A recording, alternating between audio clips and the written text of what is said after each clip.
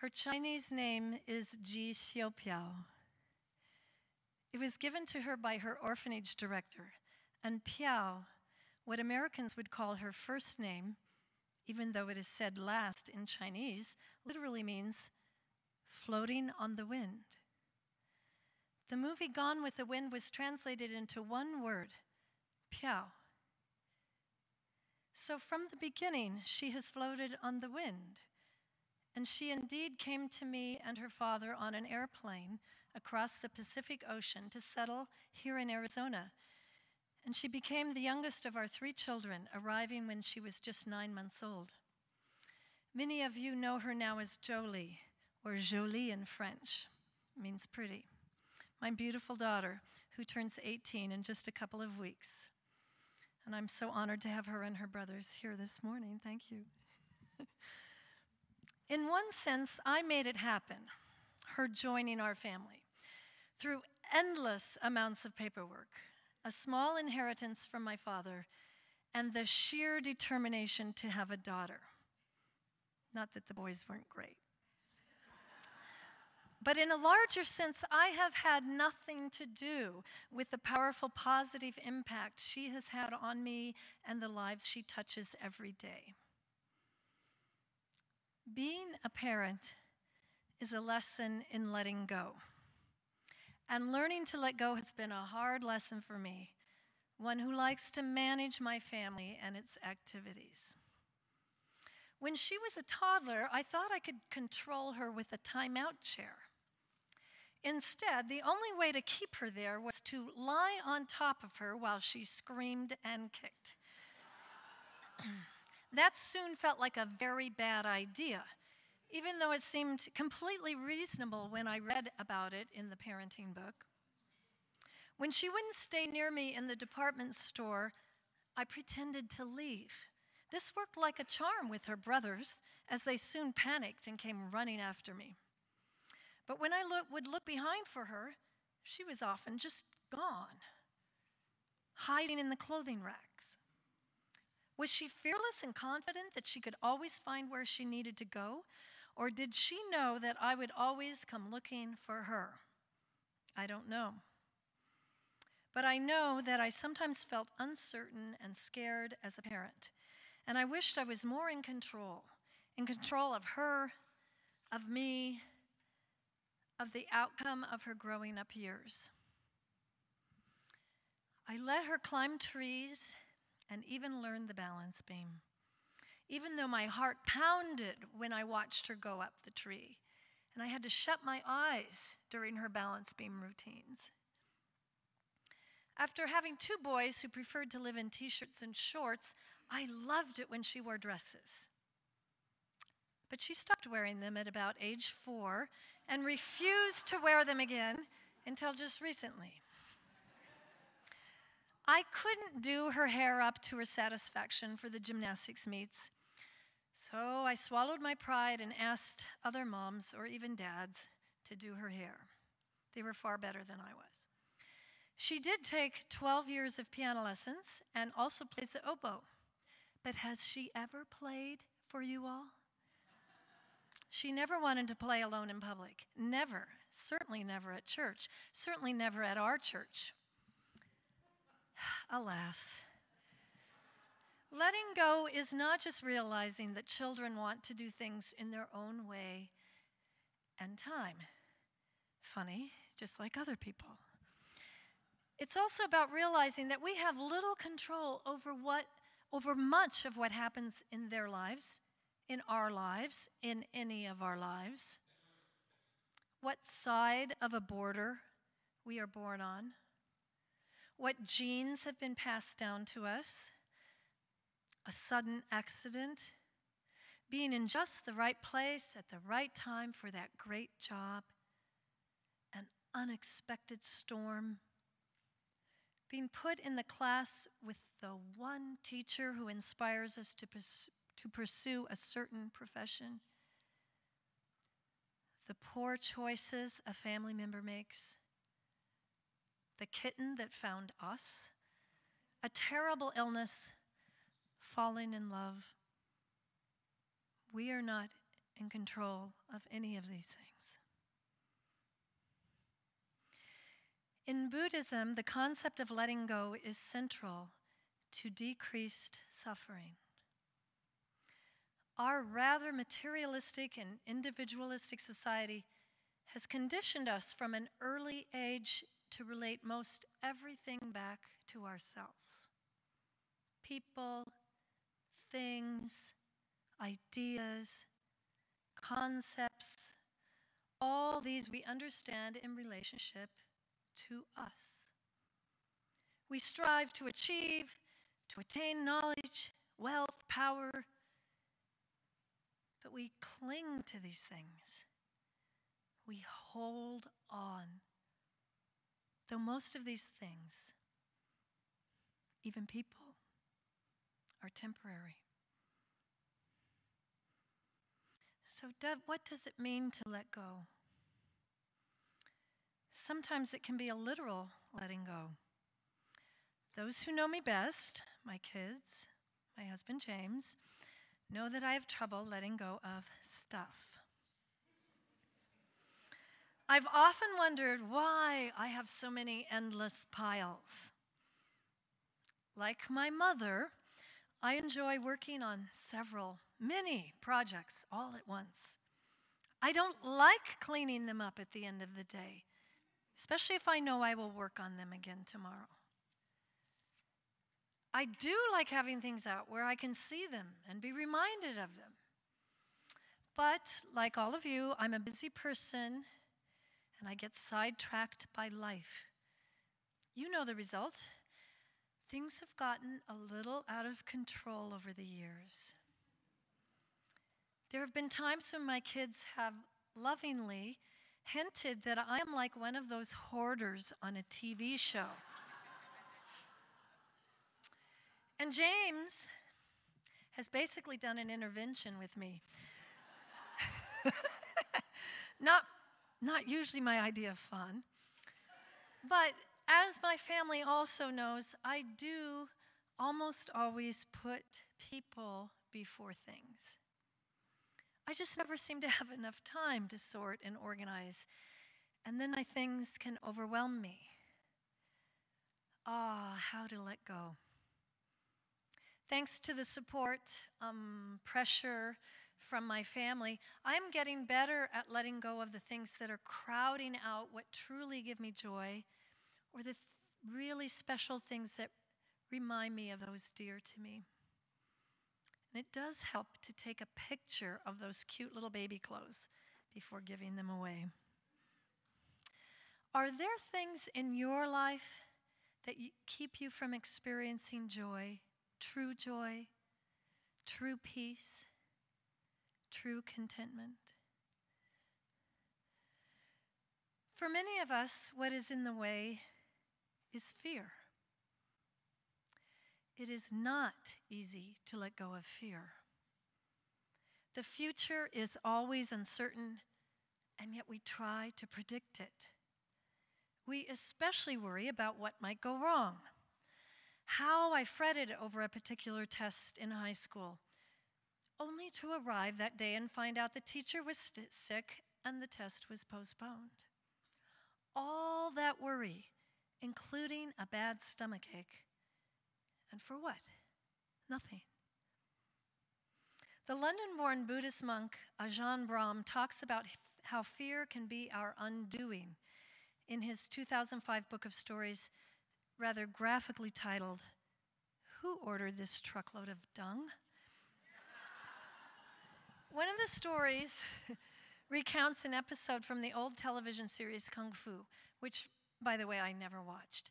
But apparently, in it, the young Buddhist no- novice monk, Little Grasshopper, was taught a lesson about how fear finds fault with the future.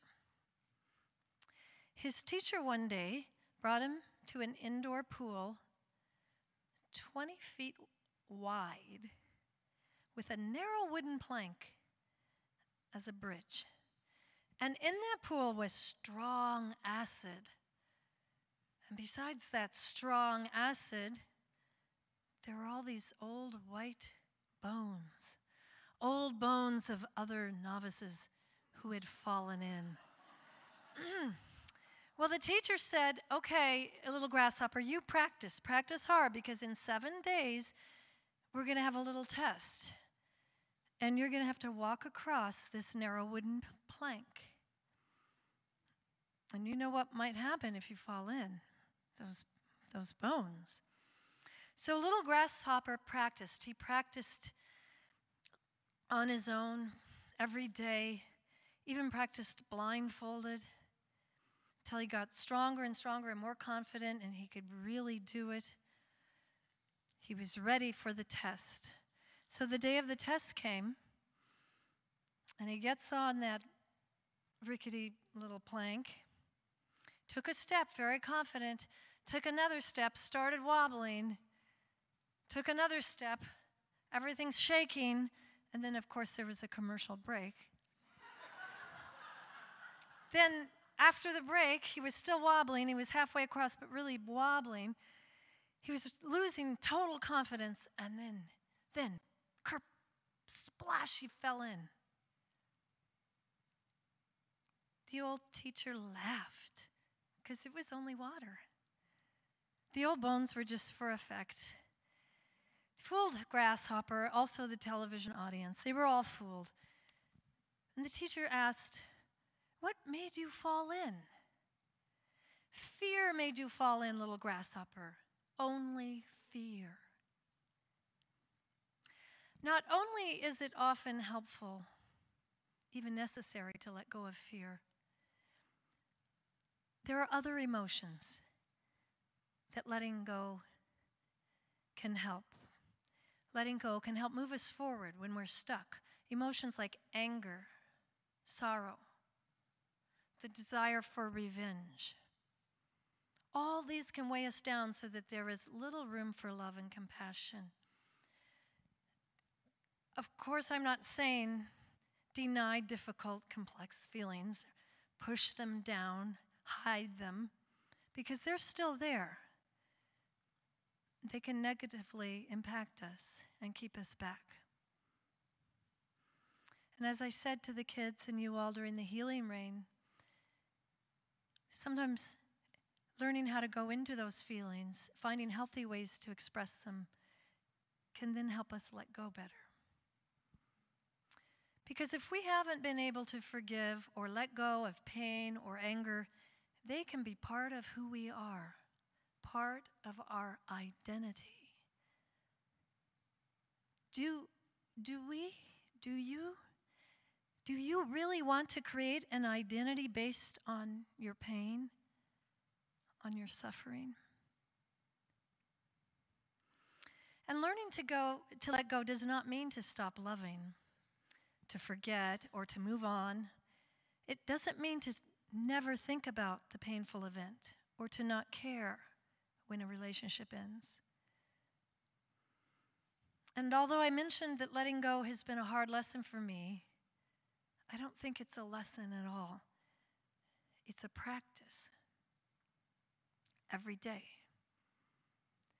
It's part of breathing in and breathing out. Sometimes we do the song, breathing in and breathing out. That's a practice. It sometimes means we don't have to do, do anything, we just be. This is what can give great relief and ease our suffering. When my first husband, Russ, was so sick, I sometimes felt pressure to not ever give up, keep being hopeful as if by magical thinking he could be well, or that my acceptance of his coming death meant I might be doing something to cause its advancement.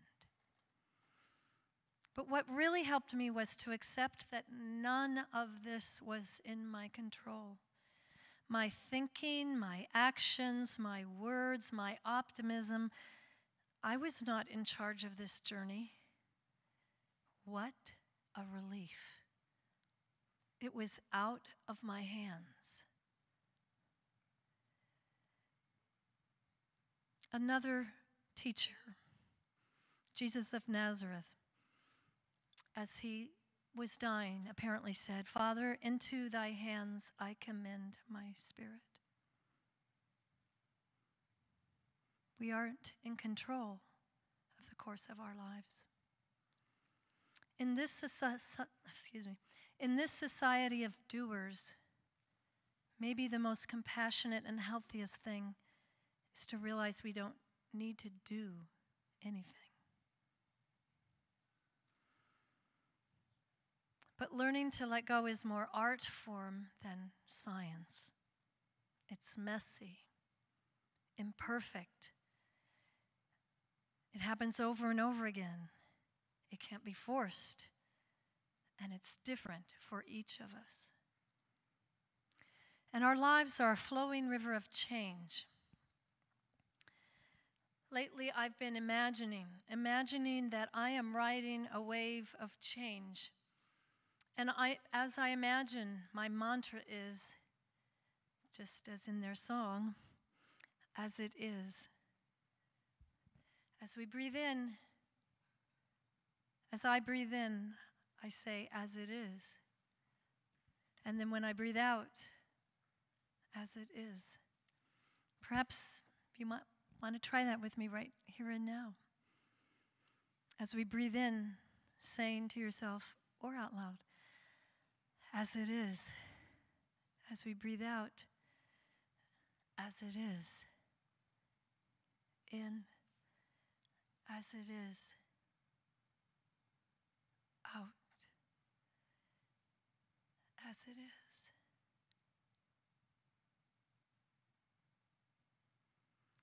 If you haven't already done so, I would invite you to find for yourself some kind of spiritual practice that allows for letting go. And by letting go, it makes room in your heart for more love and compassion and acceptance.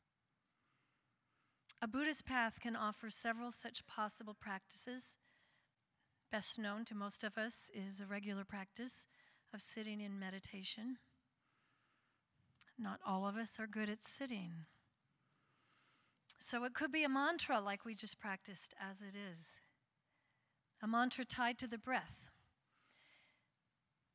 In Pema Chodron's book, Comfortable with Uncertainty, she talks of a kind of mind training where one focuses on taking in pain and sending out pleasure.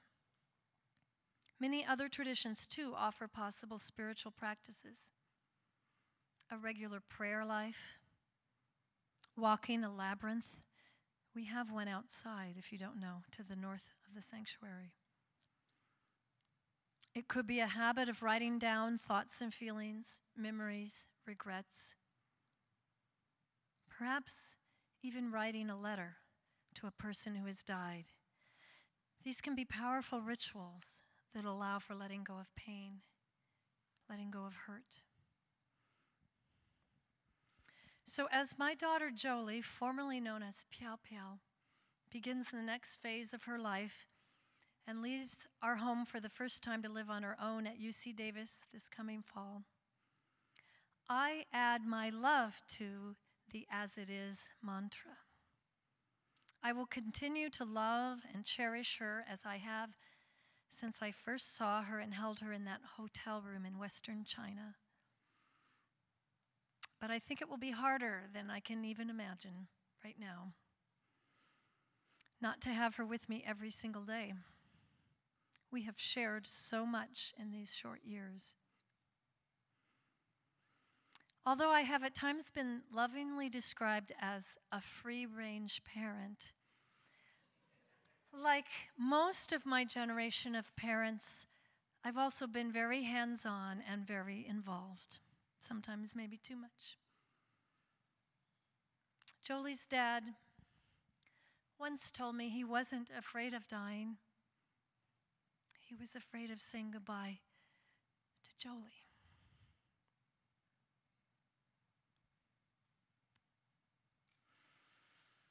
Letting go is not a pushing away or shutting down of something. It's an allowing an attending to the breath, a softening, a loving compassion, yes, maybe even a blessing Be who you are. Be as it is. Amen.